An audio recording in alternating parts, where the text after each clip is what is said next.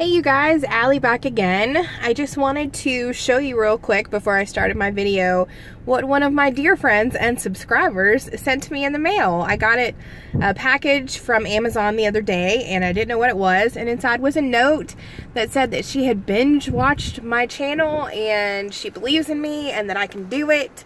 So she sent me this contraption that holds my phone on the windshield, which is awesome. It makes everything so much easier.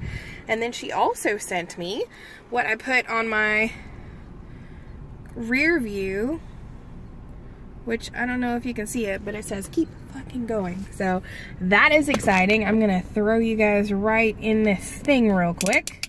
Sorry, not the most professional. I wanted to tell you guys our week eight results. So, sorry, you're bouncing. The week eight results. So, I'm down 21.2 pounds from 410, so I'm at 388.8 right now. And that is 5.17%, so halfway to my first goal of 10%. That's awesome. Amy is down 12.8 pounds, which is 4.56% for her, so that is amazing. I'm so proud of us. And I got my hair done this week, which is awesome. I hope it looks all right. And, oh, the pictures that I wanted to show you guys. So we went to dinner with our family on Friday night. And including uh, my aunt and her friend and uh, my sister's mother-in-law who call, who we call my mom too because we love her so much. And she my aunt said something about how she could see it in my face that I lost weight.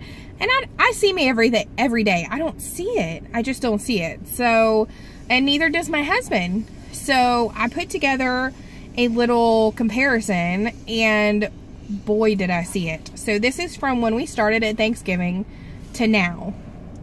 Like, do you see the difference? Just look at the difference in my eyes. Like you can see my eyes. It's crazy. And then I showed Amy and she was like, wow, that's awesome.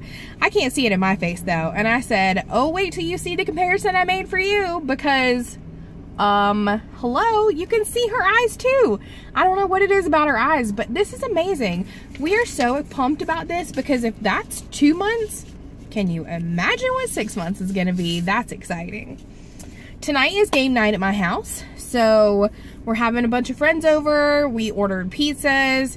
I'm going to have leftover salmon and broccoli and cheese, maybe some homemade Cheez-Its and guacamole. I may have half a slice of pizza. Um, I don't know. Oh, I said um again. Sorry. So I may have half a piece of pizza. I'm undecided. So it's just been a crazy day at work. It was just really stressful. And that's okay. I mean, you know, work gets stressful sometimes, but I love my job. It was my year anniversary today. So that was exciting. My um, sister's mother-in-law, my mom, came by and she's leaving tomorrow for Hawaii, which is where she lives. And I wanted to see her one last time. And look what she brought me. She brought me flowers because it's my anniversary.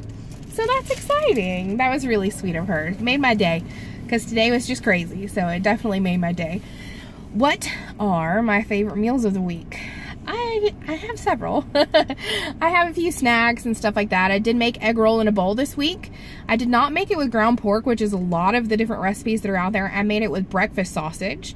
And I used half a pound of breakfast sausage for three meals for egg roll in a bowl. And you can Google it anywhere. There's tons of recipes out there.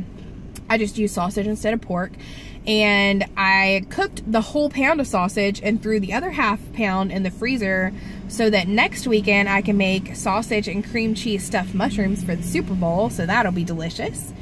We are also having wings and I don't know what else. Um, what else did I, last night I made seared salmon and it is the best I have ever made fish in my life. Me and Chris were like, this is so good. It was just in a pan. I just seared it on the stove top with some avocado oil. I seasoned them with Old Bay salt and pepper, but man, it was just something about how they were cooked. They were so good. We also did mashed cauliflower last night. It wasn't really mashed. It was just, I got a bag of rice cauliflower and I cooked it and I mixed it with sour cream and butter and cheese and bacon and dried chives. And then I put green onions on top. I don't mind the consistency of, of riced cauliflower and neither does he, but if you could, if you wanted to mash it, I'm sure that you could. what else? Today I had grilled nuggets from Chick-fil-A for work because I didn't leave work. Again, it was crazy. I forget how good their grilled nuggets are. I don't like grilled chicken in the morning. It's just a preference. I just, I don't know. I just think it's weird. But Chick-fil-A's grilled nuggets for lunch were delicious. I had that and a side salad with avocado ranch, which is a great option for keto, that whole meal, because it's low carb and you bump up your fat with that avocado ranch. So I think, uh, what else? Golden Corral. Oh, we went to Golden Corral yesterday. Me and Amy, because I had the day off. So we went for breakfast and Golden Corral has a bad rep, but I really enjoy it because I can get a little bit of eggs, I can get a little bit of bacon. Amy had some smokehouse chicken that she took the skin off and ate the chicken. It was really good. I got some zucchini, some broccoli, some cucumbers. They had pepperoni on the salad bar and pepper jack cheese cubes. So I love that. Just getting a little bit of everything. It's one of my favorite things. And my dad loves Golden Corral for breakfast. Um, he is not keto, not at all, but he definitely supports our keto journey. And we enjoy going there when he's in town because it's a good option for all of us. And then the other thing that I wanted to tell you guys about was I made homemade Cheez-Its. Basically, I just took the sliced cheese and I put it in the oven on a pan lined with parchment.